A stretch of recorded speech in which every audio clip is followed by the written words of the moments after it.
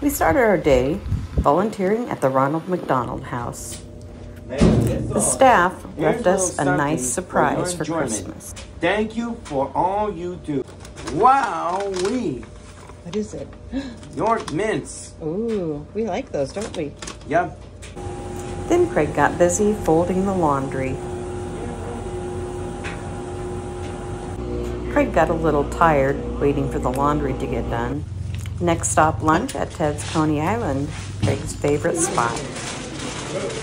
I'll have a bacon cheeseburger in a basket with no lettuce, no. Craig loved his favorite bacon cheeseburger. What is your spirit animal? Dragon.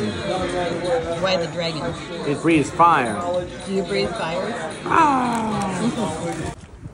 After lunch, we decided to stop at the Filipino store. They have lots of interesting snacks to try. Strawberry sunflower crackers. Should we try these? Yeah. Watermelons? I've never seen watermelon seeds as snacks. I wonder what they taste like. Mochi. They had some yummy looking mochi too. Whale eggs. Mm-hmm. You think you want to try them? No.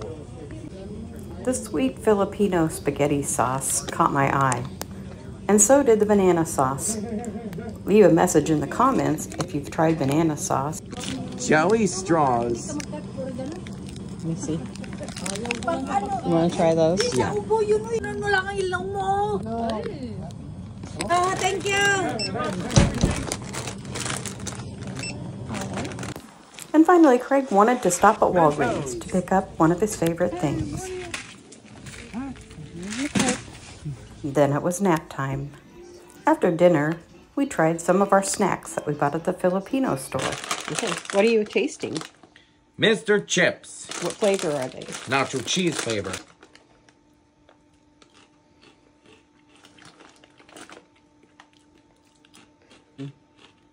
Crunchy. Do they taste like Doritos? Yeah. Time to try the strawberry sunflower crackers.